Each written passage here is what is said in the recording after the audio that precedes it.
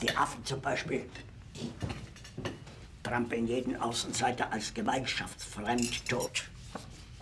Was für die Affen gilt, muss doch in erhöhtem Maße für den Menschen gelten.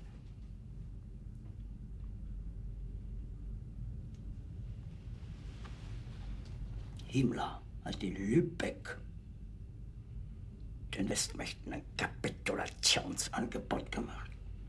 Bei der Grafen Bernadotte. Der englische Rundfunk berichtet das.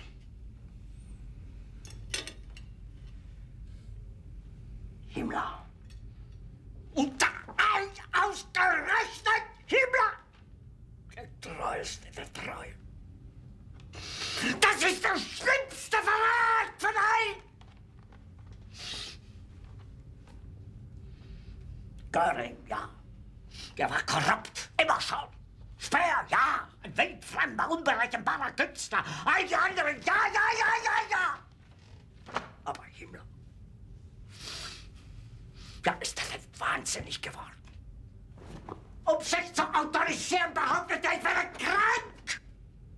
Ja, vielleicht schon tot.